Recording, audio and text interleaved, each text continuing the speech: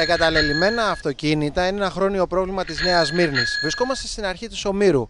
Το διπορικό μας αρχίζει από τον κεντρικότερο δρόμο της Νέας Σμύρνης, καταγράφοντας όσα περισσότερα εγκαταλελειμμένα αυτοκίνητα μπορούμε. Μία εργασία την οποία οφείλει να κάνει ο Δήμος και αδιαφορεί παντελώς. Πάμε λοιπόν να τα δούμε ένα-ένα μαζί.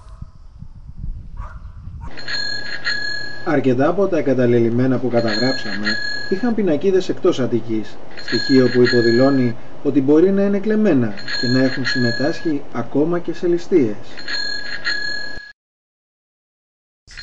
Αυτή είναι η κατάδια της Νέας Μύρνης. Όλο σχεδόν το κέντρο έχει καταντήσει ένα νεκροταφείο λαμαρίνας. Τα εγκαταλελειμμένα αυτοκίνητα όχι μόνο γεμίζουν θέσεις στάθμευσης για ανθρώπους που θέλουν πραγματικά να παρκάρουν, αλλά και μολύνουν την πόλη με το χειρότερο πιθανό τρόπο. Όπως παρατηρείτε και στα πλάνα, τα εγκαταλελειμμένα αυτοκίνητα που καταγράψαμε δεν είναι κρυμμένα σε σοκάκια. Είναι σε εμφανή σημεία μεγάλης κίνησης, όπως έξω από την αιστεία, το αστυνομικό τμήμα, την εκκλησία της Αγίας Φωτεινής και σε κεντρικούς δρόμους όπως η Ομήρου και η Μεγάλη Αλεξάνδρου. Ακόμα και ο πιο άχρηστος δήμαρχος ματάκια έχει να δει.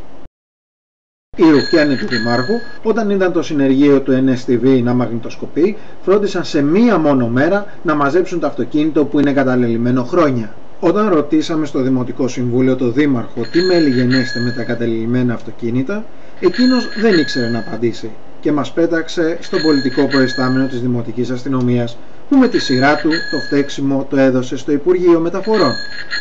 Τόνισε ότι μέχρι τώρα έχουν καταγράψει λιγότερα από 10 αυτοκίνητα που δεν έχουν πινακίδες και τα έχουν στείλει προς έγκριση απομάκρυνσης.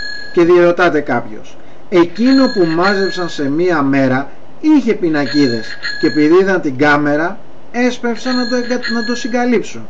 Δεν ήξεραν οι δύσμηροι ότι εμείς καταγράψαμε σχεδόν 50 αυτοκίνητα σε μία έκταση από τη Μεγάλου Αλεξάνδρου μέχρι πίσω από το Άλσος και την Αγία Φωτεινή.